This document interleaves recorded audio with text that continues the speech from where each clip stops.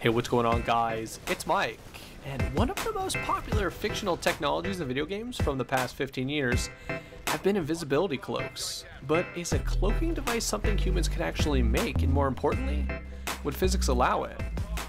Without light, matter is invisible. You can't technically see any object that doesn't emit or reflect photons. This means that nearly everything you see in your day-to-day life is merely the light that is bounced off of an object and into your eyes, not the actual object.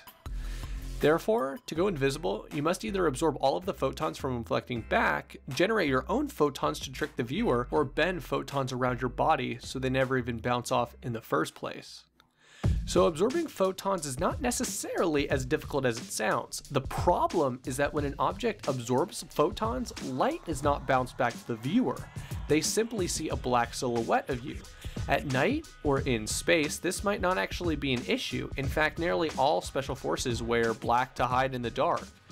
Its downside is when the user is present in daylight and as photons are absorbed by the cloth, it's converted into heat energy. So if any thermal vision was used, you'd actually be even more easy to spot. Faking out the eye by generating a different light pattern is exactly how modern day cloaking devices work. Small cameras and sensors stream video from one side of the cloth to the other. Material with favorable properties are generally not very reflective and not unnaturally bright. As seen in the video, the military has already shown a lot of interest in the technology to help special forces get into an area or stranded soldiers to get out of an area. In urban and natural areas where the background is random static patterns such as grass, leaves, stone, or rubble, the device works near flawlessly. When the user is near recognizable geometries, the technology seems to fall apart. Bending light around an object seems to be the most authentic method of cloaking. In fact, black holes have such an immense gravitational field that light bends around it, making far away stars that you shouldn't be able to see visible. The image is very distorted and doesn't really look that natural though.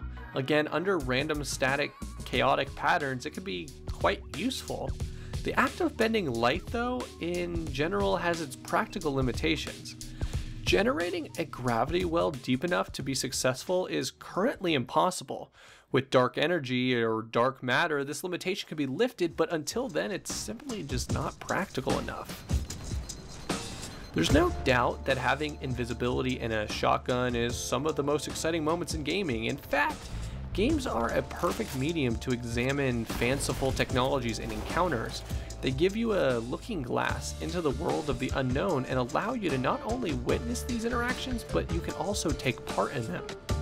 Anyways, guys, that's kind of what you need to deal with when you're looking with invisibility. And it's so sad how how impractical or, or impossible or how bulky it is in, in the modern day, but it's something that, you know, it's it's such an amazing idea and, a, and it's such an amazing um, thought. So, anyways, guys, let me know if there was one place on planet Earth or even anywhere that you can go and be invisible or anything that you would do being invisible. Let me know in the comments down below, right below the like button. And be sure, if you are new, please subscribe for more great videos.